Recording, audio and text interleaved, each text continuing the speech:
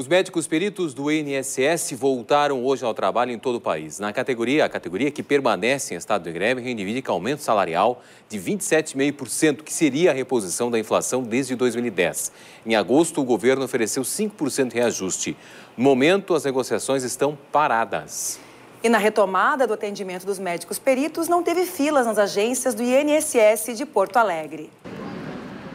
Na agência da Avenida Bento Gonçalves, a segurança até foi reforçada prevendo o movimento, mas a procura foi normal.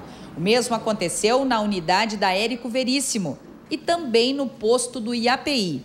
Sem acordo na negociação salarial, os médicos peritos decidiram manter o estado de greve, mas voltar parcialmente ao trabalho a partir de hoje. É que muita gente ficou sem atendimento nos 142 dias de paralisação. O INSS diz que a demanda reprimida é de 1 milhão e 300 mil segurados no país.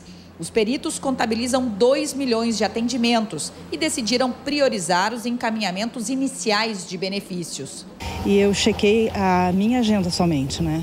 E metade dela deveriam são de pessoas que entraram com pedido de benefício há mais de 60, 90 dias e deveriam ter tido benefício concedido mediante o cumprimento de uma ação civil pública, que garante a concessão do benefício no 46º dia do pedido se não houver perícia. Nós viemos atender sem nenhuma sinalização do governo e nenhum tipo de acordo, nem para repor o que foi deixado para trás, nem para atualizar os nossos salários.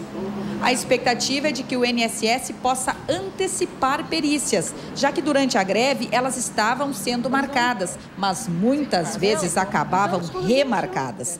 Vera quebrou duas costelas em setembro, já fez cirurgia e só na sexta-feira conseguiu a perícia, mas não saiu com o resultado. Conclusão da história está desde setembro sem nenhum rendimento, aguardando pela posição do INSS.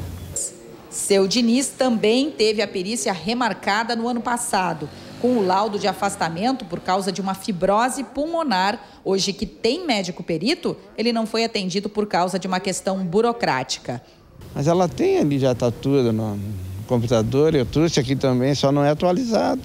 Mas, ah, infelizmente, ela não vai poder fazer a perícia hoje, então.